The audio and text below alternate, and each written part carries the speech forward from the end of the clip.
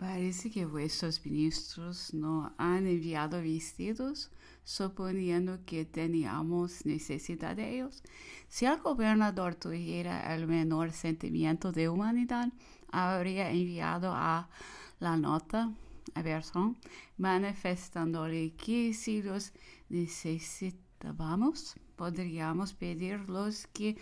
nos gustasen, pero en obrar según las reglas de la urbanidad, ese carcelero cambia en un insulto lo que probablemente consideraba vuestro gobierno como una atención. escoge lo que quiere y nos lo envía sin consultarnos del modo más humillante como si arrojase una limosna a unos mendigos o vestuario a algunos presidiarios, veramente a ir de boja, porque nadie sino una boja trataría de aumentar sin necesidad las miserias de unas gentes demasiado desgraciadas y en su posición lleves como atormenta a esa pobre señora Bertrand, privándola de la pequeña sociedad a que está acostumbrada y que la está necesaria. Mucho extraño que permita estar conmigo el capitán Papleton y uh, si pudiera mi vigilario al mismo tenis presidiarios en Inglaterra le respondí que no, pero que teníamos condenados que trabajaban en Portsmouth y en otras partes.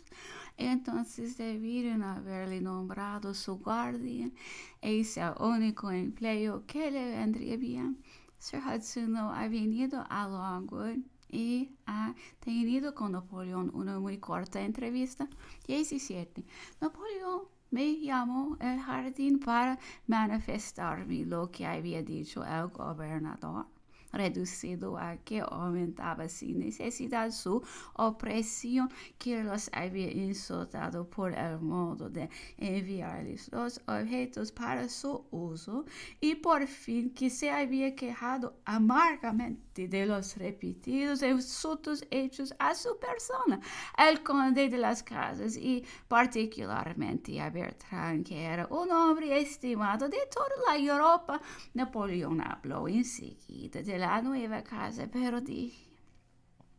creo que cuando se hayan arreglado los negocios en Francia y todo esté perfectamente quieto, el gobierno inglés me permitirá volver a Europa y acabar mis días en Inglaterra porque no le creo tan loco que quiere gastar ocho millones de pesetas anuales por conservarme aquí particularmente cuando ya no tenga nada que temer de mí, por lo cual me ocupo poco de la casa. Enseguida habló de su fuga y dijo que aunque quisiera ver si tenía contra sí noventa y ocho suertes sobre ciento y a pesar de eso el carcelero me hostiga y violenta tanto como si no tuviera más que estarme en un barco y marcharme. Es verdad que mientras vive un hombre siempre es de tener que se escape y el único modo de evitar que se huya es el de matarle, porque solo los muertos no vuelven, ya vas. Entonces cesaron los temores de las naciones de Europa y de Lord Castlereagh, los gastos, las flotas y esos pobres soldados descansarán de sus fatigas.